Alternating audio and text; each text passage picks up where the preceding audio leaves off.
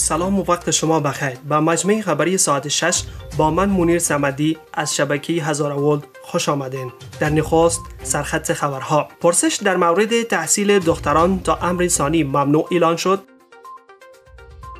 لیلام 15 میلیون دلار از سوی طالبان. لاتوکوب یک تیک تاکر در ننگهار از سوی طالبان. منع شدن کارمندان دولتی در پکتیکا و پکتیا به دلیل نداشتن ریش و کلا. مؤسس تلگرام از سوی پلیس فرانسه بازداشت شد. سانحه هوایی برای هواپیمای شرکت آریانا هنگام برخواستن از میدان هوایی خوست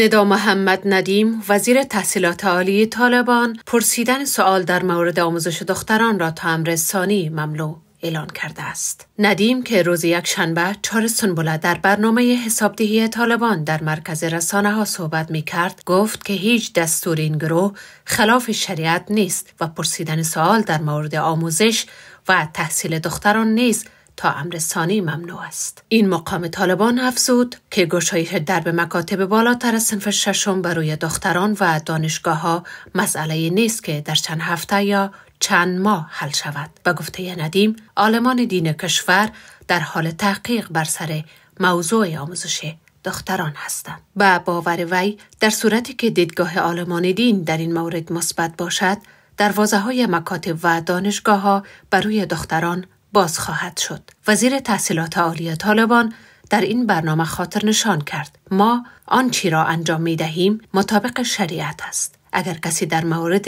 آموزش دختران مطابق فقه حنفی به ما اسناد ارائه کنند مطمئن هستم که این مسئله حل می شود.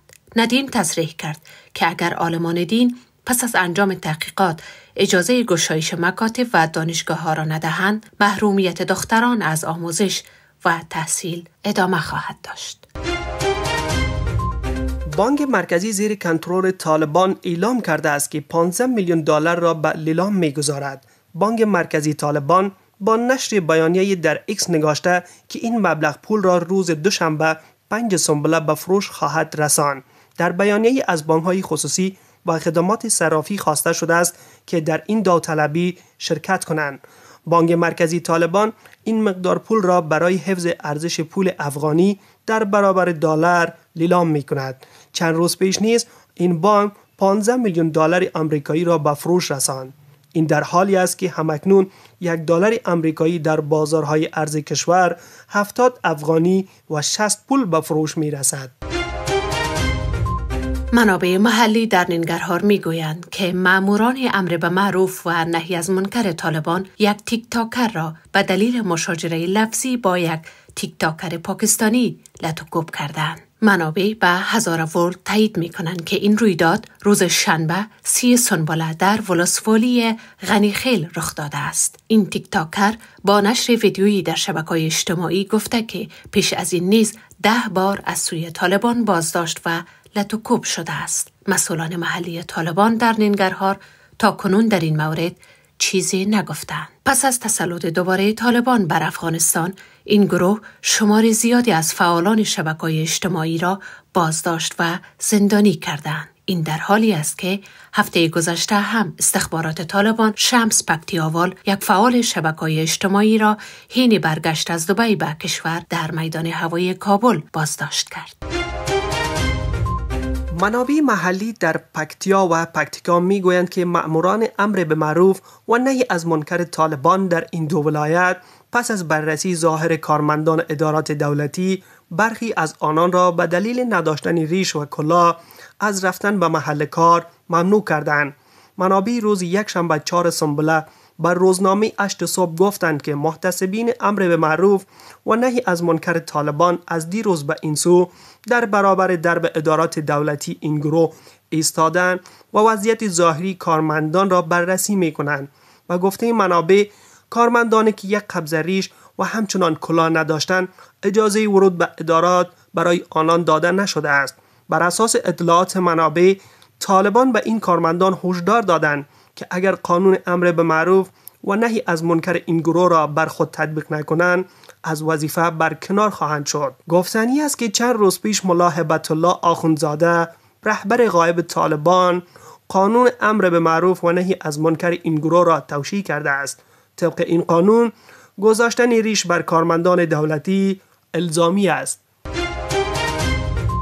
رسانه های بین المللی از بازداشت پاول دروف میلیاردر روسی فرانسوی و مؤسس برنامه پیامرسان تلگرام در شهر پاریس پایتخت فرانسه خبر دادند. رویترز گزارش داده که دروف ناوقت روز شنبه 24 آگوست در میدان هوایی برجت در خارج از پاریس بازداشت شده است. با این حال TF1 در وبسایت خود نگاشته که مؤسس تلگرام برای تحقیقات از سوی پلیس فرانسه بازداشت شده است. بر اساس گزارش تحقیقات از دروف روی کمبود ناظر در تلگرام متمرکز خواهد بود. به باور پلیس فرانسه کمبود ناظر در تلگرام سبب شده است که فعالیت های مجرمانه در این پلتفرم ادامه یابد. تلگرام و وزارت امور داخلی فرانسه تا کنون در این مورد چیزی نگفتند. وزارت امور خارجه روسیه در بیانیه ای از سازمان های غیر دولتی غربی خواسته است تا برای آزادی دروف تلاش کنند. دروف روسیال اصل و برادرش تلگرام را در سال 2013 تأسیس کردند. طبق اطلاعات او در سال 2014 پس از رد درخواست های دولت روسیه برای بستن گروه های مخالف در پلتفرم رسانه اجتماعی وی کانتکت مسکو را ترک کرده است. تلگرام نزدیک به یک میلیارد کاربر در جهان به ویژه در روسیه، اوکراین و جمهوری های اتحاد جماهیر شوروی سابق دارد.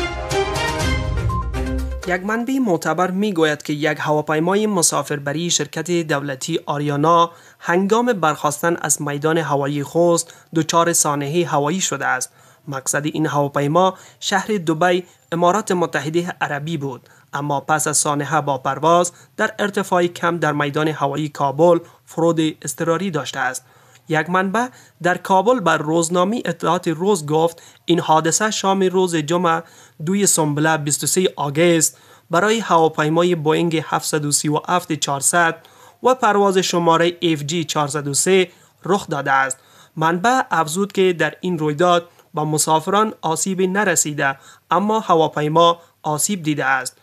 این منبع که در جریان پروازها قرار دارد و نقل از مسافران گفت که هواپیما نتوانسته است از خط رنوی بلند شود و پس از ختم رنوی در خامه به حرکت ادامه و بعد از برخود با چندین موانع به صورت معجزه آسا از زمین فاصله گرفته است.